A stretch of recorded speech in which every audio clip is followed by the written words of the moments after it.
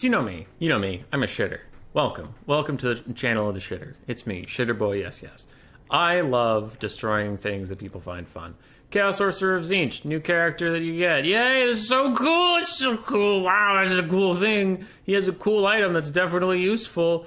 Blasphemous Amulet imbues magical attacks. Duration infinite. Cooldown 60 seconds. Affects allies in range all. I'm kind of confused why, if its duration's infinite, it has a cooldown anyway. But besides that confusion, dude, magic attacks forever. That's some bullshit. That is some bullshit. Let's look at this. Let's no, no, no. Let's look at this. Who like infinite magic attacks, dude? All right. Well, the Herald of Tzeentch already has magic attacks, and so do all the lords. Okay. All right. All right. You win that round, but the heroes also all have magic attacks. All right. You win that round.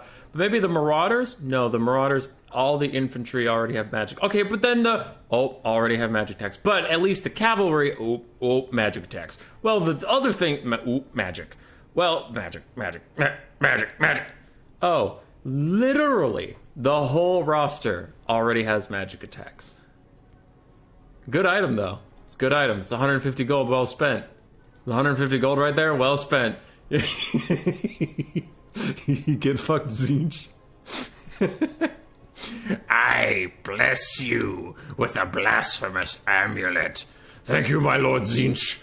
Thank you for this great gift. What does it do? Nothing. no. Rawr.